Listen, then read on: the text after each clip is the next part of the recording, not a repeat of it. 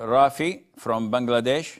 Sheikh, I have an uncle who was once given a ring by a jinn worshipper. This jinn worshipper told my uncle that it will protect him from enemies, etc., etc.